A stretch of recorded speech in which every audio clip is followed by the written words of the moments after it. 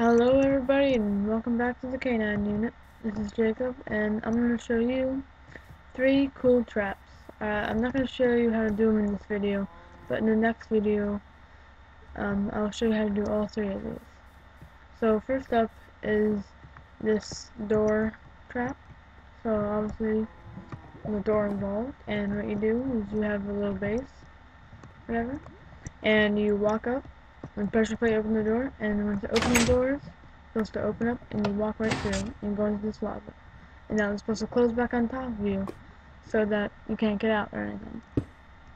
So let's go in real time and see what it really looks like. So I'm gonna, oops, I'm gonna put that block there in. Door. Alright, so I'm just gonna walk through. No way for you to get out, you die. Alright, so let me move on to the next one.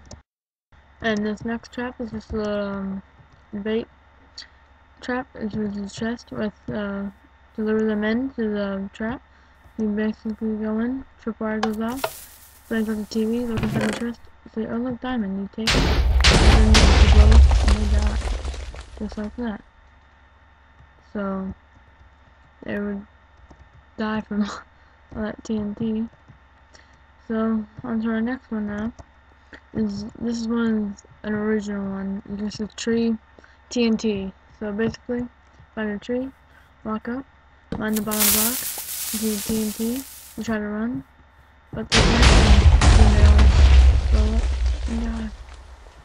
Like that. Oh, look, I'm green it's raining now.